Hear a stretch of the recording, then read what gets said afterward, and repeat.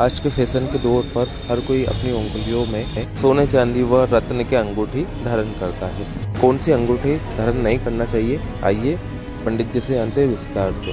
देखिए, ज्योतिष शास्त्र और आज के इस फ़ैशन के दौर में हर व्यक्ति अपनी उंगलियों को सुसज्जित करना चाहता है और कोई अपनी ग्रह दशा के अनुसार नग धारण करने के होड़ में रहता है।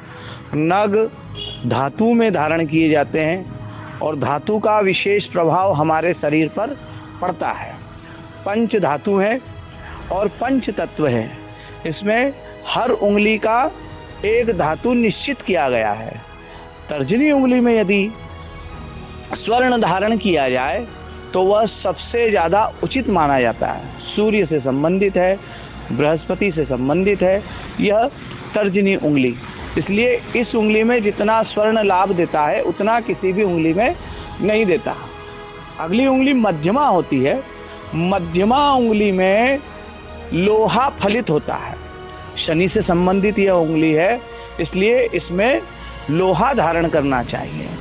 उसके बाद अनामिका उंगली में, अनामिका उंगली में तांबा धारण किया जाता है। तांबा मंगल के लिए भी धारण किया जाता है। और रोगों के नाश के लिए भी तांबा धारण किया जाता है। उसके बाद कनिष्ठिका उंगली जो है, चीटी उंगली जैसे बोलते हैं, इसमें चांदी धारण किया जाता है। यह चंद्र से संबंधित है, बुद्ध से संबंधित है। यह हमारे क्रोध को शांत करती है इस उंगली में, यदि हम चांदी धारण करते हैं तो।